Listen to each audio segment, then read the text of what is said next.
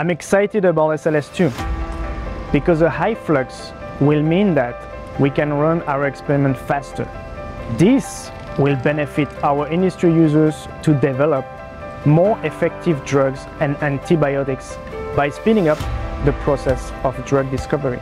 The high flux will mean that we can look at macromolecules in action. Amongst other things, we will use time-resolved crystallography to study the dynamics of enzyme catalysis